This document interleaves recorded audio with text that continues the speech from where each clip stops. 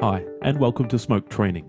In this episode, we explore how to track masks so you can apply an effect to a specific part of a clip in Smoke 2013.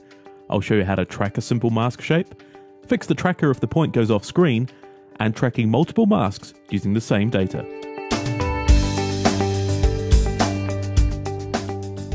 Many times when you add or create effects, you need to apply masks to make sure the effect happens only in a specific part of the screen. If the picture is static, this is very easy to achieve, as it's simply a case of adding a mask to the area that you wish the effect to be applied to. When the picture is moving in any way, it becomes necessary to be able to mask the effect to match the movement in the shot. In this example here, we're using the color warper to adjust the color of the sign on the pole. Due to the shot containing many areas of similar tones of red, it becomes difficult to effectively isolate the sign from the rest of the image. This is where masking comes into play. We can create a loose mask around this general area so as to have the colour effect occur just within a particular region. Here on the timeline we have two copies of the same clip. The bottom layer contains the original unaffected clip, however the top layer contains the colour warper effect we just created. Now we can add a mask to the top layer to keep just the area around the sign, while exposing the original unaffected clip beneath it. As the shot pans upwards, we'll need to animate the mask so that it follows the movement of the shot. While we certainly could animate the mask manually to follow the region required, for our purposes, let's look at using the motion tracking tools built into Smoke to achieve the same result. Firstly, we'll apply a mask to the top layer. Remember, Control Tab brings up the video effects bar. Choose Wipe. This creates an animated wipe for the length of our shot. We don't require this, so remove this wipe by selecting All Nodes and press delete in the lower right hand corner. To create our own mask now, select the add button here. Now plot a mask around the general area we need to isolate. We can create quite a loose mask here as all we're trying to do is isolate the sign so that it's separate from the other red tones in the image that was getting affected by the color warper.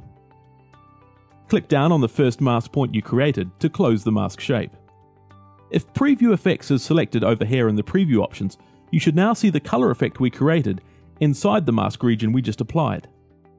Right, let's go ahead and track the mask so that Smoke animates the location of the mask for us. Basically, all we need to do is track the mask to a single point on screen. If we needed the mask shape to scale or rotate over time, we would activate the scaling and rotation options found here. That would give us two tracking points so that we can effectively scale and rotate the mask based on the difference between these two tracking points. However, in this case, we only need to track a single point on screen. So with both of these options off, select the Stabilize button found here. This is the smoke tracking module. On screen you'll have a single tracking point. A tracking point is made up of two parts. The small inner square is called the reference box. This box will look for a specific feature or pattern in your shot to follow. The outer dashed square is called the tracker box. Basically, it searches a wider area frame by frame to help locate the chosen feature of the inner box.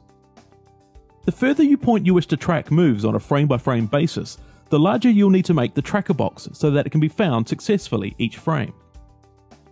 Let's position the tracker over a feature on the flag.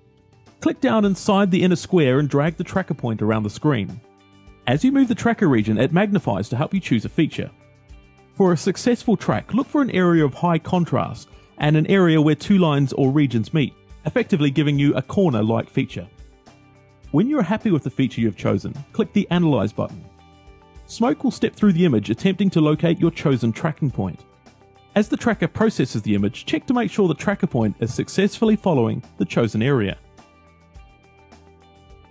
Here, as you can see, the feature we chose to track disappears off screen.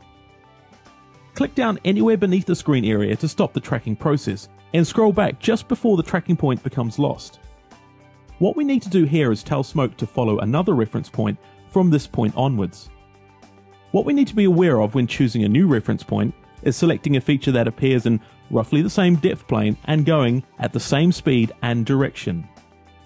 From the Edit Mode box on the right, select Add. This is how we give the tracker a new reference point to track. Let's choose another point on the sign to help track the shot. If required, zoom in using the Command plus shortcut to help choose a new tracker reference point. To select the new reference point while still in add mode, click inside the smaller white rectangle and drag this to the new feature you wish to track. To show that you are choosing a new reference point again, Smoke magnifies the view so that you can make an accurate choice. When happy with your selection, click Analyze again. Even though we chose a feature on the other side of the sign, as Smoke continues to analyze, it adds the new tracking data to the existing tracking path we created first of all. See how it's now correcting the points that went wrong in the previous track. And again, the tracker has failed, so as before, click down anywhere beneath the screen to stop the tracker, and scroll back just before the tracker goes wrong. Checking that you're still in add mode, click inside the small white tracker reference box and reposition again. Click Analyze to set the tracker going again. Now that the tracker has completed, scroll back through the shot to check that Smoke has successfully completed the track. As you scroll along, you'll see the tracker reference point jump to the new locations you chose when the tracker failed. However, these new reference points add the tracking data that was collected to the original tracking path. The key to completing a track that disappears off screen is choosing a new reference point that continues in the same direction and speed and is positioned in the same visual depth on screen. Let's now return back to the mask menu. Scrolling through the timeline bar, we can see now that our mask follows along accurately to the sign, and continues to do so as the sign moves off screen. Once we have tracked the shot once, we can use the same data over and over again and apply it to further masks that we create. Just by creating a new mask, we can apply the same tracking data that has already been collected to quickly track the mask into the shot. Down here in the viewing mode box, select Schematic this is a node representation of both the masks we created and the axes which contains the positional data for the mask. By clicking on the axis node here, we can see the timeline now shows the keyframes from the tracking data that we originally collected. So this is our original mask, and this axis controls the position of the mask that we gathered through the tracking process. Over here on the right is our newly created mask. We don't need the axis attached to this mask, so simply drag it to the bottom of the screen to delete.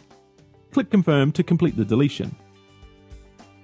We want to take the existing tracking data stored here in the first axis and apply it to our second mask as well.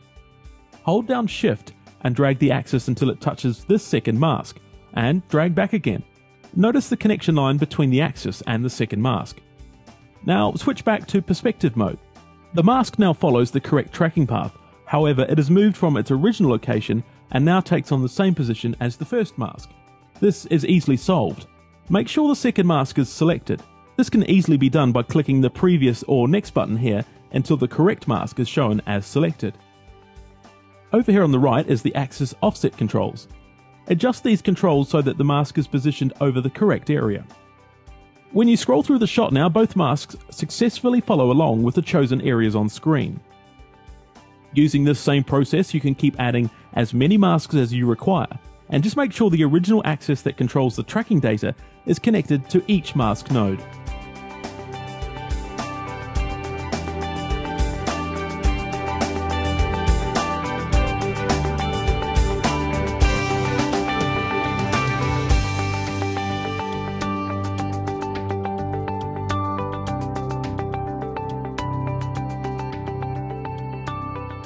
That brings to a close this episode of Smoke Training. Thank you for watching.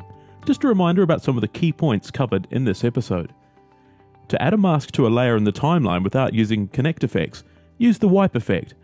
A wipe effect defaults to a horizontal wipe lasting the length of your clip, so delete it first and then add a new mask.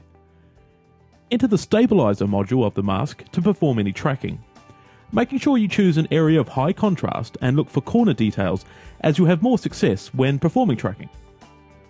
When the point you are tracking moves off screen, stop the tracker, go back, and then add a new reference point to continue the track. If you wish to track multiple mask shapes on screen, simply connect all future masks to the original axis in the mask schematic. This will apply the same tracking data. Most importantly, remember this is pre release software.